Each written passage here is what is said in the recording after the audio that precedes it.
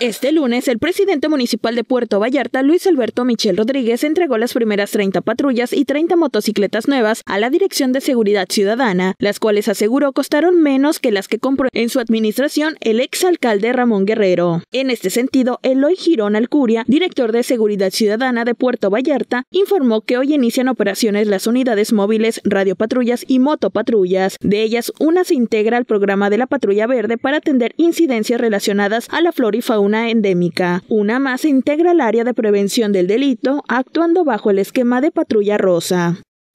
Y aprovecho el contexto de esta ceremonia para anunciar que un vehículo se integrará a las funciones que realizará la unidad de atención de incidencias relacionadas a la diversidad sexual.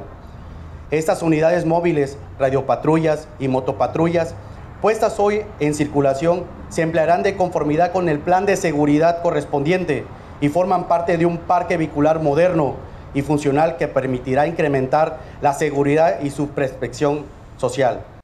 Aunado a ello, comentó que estas unidades se aplicarán de conformidad al plan de seguridad correspondiente y forman parte de un parque vehicular moderno y funcional que permitirá la seguridad y perspectiva social. Se le cuestionó al comisario si estos también realizarán recorrido a las colonias, ya que hay muchas quejas al respecto de que solo en la franja turística se refuerza la seguridad, a lo que señaló que sí. Por su parte, el alcalde Michel Rodríguez informó que se entregarán 100 patrullas en total. Primero se entregaron 30, este mes otras 15 y así sucesivamente, además de que cada unidad tuvo un costo de 445.250 pesos, mientras que en la administración de Ramón Guerrero cada una tenía un valor de 760.272 pesos.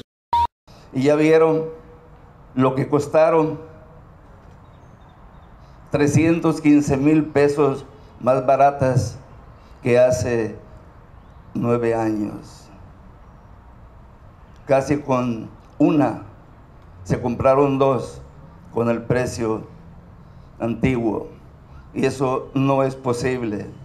Pero en fin, estas patrullas, amigos, policías, hombres, mujeres, hay que considerarlas como algo propio indicó que Puerto Vallarta es un destino seguro en donde los empresarios tienen la confianza de invertir, por lo que estas nuevas patrullas estarán al servicio de toda la ciudadanía. Cabe mencionar que se dio el banderazo en la avenida principal y las patrullas y motopatrullas dieron un recorrido para que la gente se diera cuenta de esta nueva adquisición por parte del ayuntamiento, aunque en su visita a Puerto Vallarta el presidente de la República de México, Andrés Manuel López Obrador, dio el banderazo simbólico.